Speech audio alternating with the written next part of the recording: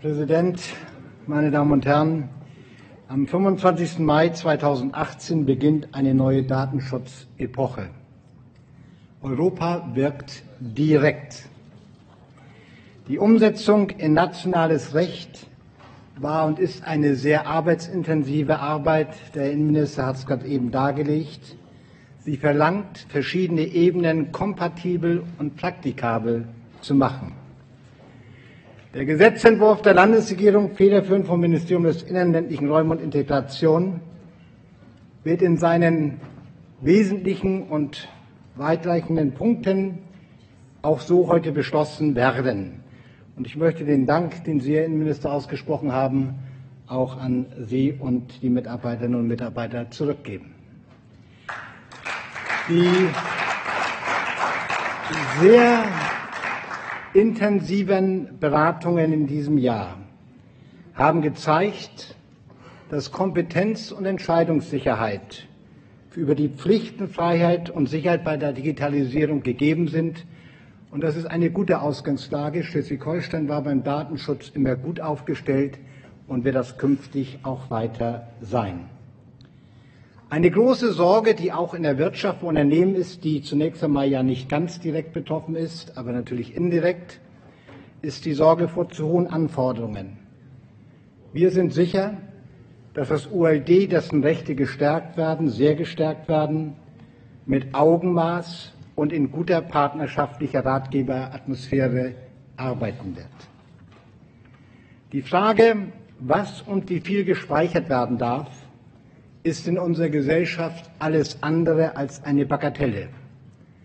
Sie berührt das Grundverständnis, das Kernverständnis zwischen Bürger und Staat, zwischen Freiheit und Sicherheit.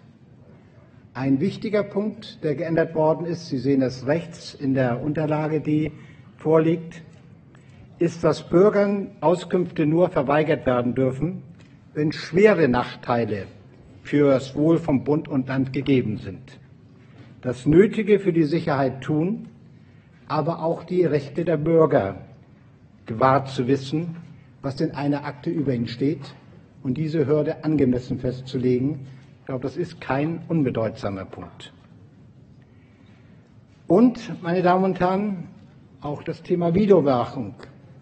Es bleibt bei der Videoüberwachung, aber keine automatisierte Verarbeitung biometrischer Daten zur Identifizierung von Personen.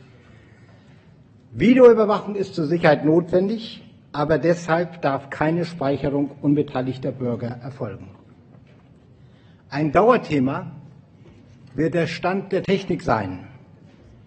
Hier ist ein ganz breites fachliches Spektrum notwendig und es wird auch von den Mitarbeiterinnen und Mitarbeitern, den Datenschutzbeauftragten, die wir alle bekommen, sehr viel Wissensstand erfordern, denn sie müssen mindestens auf Augenhöhe mit Wirtschaft und Experten sein, sollen sie die komplettierten Sachverhalte korrekt und fundiert beurteilen können.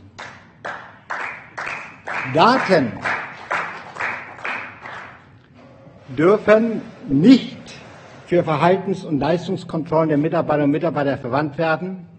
Die vorgesehene Regelung, die für den Justizbereich eigene Vorschriften vorsah, haben wir gestrichen.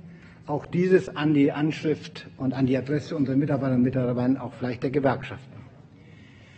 Wir sind uns darüber im Klaren, dass das, was jetzt verabschiedet wird, in der Praxis zu manchen Umsetzungsproblemen führen muss. Ich möchte gleich deutlich hinzusetzen, wenn dort Fehler passieren und wenn alles nicht ganz so schnell sofort geht, dann halte ich das für einen ganz natürlichen Vorgang, der nicht zur Kritik führen sollte, sondern zur Frage, wie können wir es dann weiter besser machen. Fehler liegen in dieser Problematik drinne. Und wir haben uns deshalb, und das ist auch ein wichtiger Hinweis an die Behörden und an die Betriebe, und wir haben uns deshalb entschlossen, eine sogenannte Evaluation mit einer Frist von einem Jahr beginnend einzuarbeiten, wo Auskunft und Informationsrechte dann die, in der Praxis überprüft werden. Ich glaube, das ist ein guter Weg, um zutreffende Aussagen, die geändert werden müssen, mit den gesetzlichen Möglichkeiten dann später neu in Anklang gegebenenfalls bringen zu können. Mit der Richtlinie neben der Grundschutzverordnung werden etwa 30 Gesetze jetzt im ersten Anlauf geändert.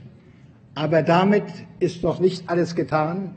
Wir werden auch speziell im Bereich der Polizei dann und in anderen Fragen noch weitere hinzusetzen müssen. Man muss also kein Prophet sein, um zu folgern, dass dies ein weiteres ständiges Thema sein wird. Lassen Sie mich zusammenfassend abschließen. Die letzten Wochen waren zum Thema Datenschutzrecht ganz besonders bei Jamaika eine Herkulesarbeit und auch bei den zuständigen Mitarbeiterinnen und Mitarbeitern bei der Hausspitze. Ich habe den Dank an die betreffenden Persönlichkeiten ausgesprochen. Sie haben es wirklich verdient. Wir werden, Herr Präsident, ein letzter Satz noch. Wir werden zeitgerecht das Datenschutzrecht in Kraft setzen. Beim Datenschutz, bei der Datensicherheit herrscht Sicherheit in Schleswig-Holstein.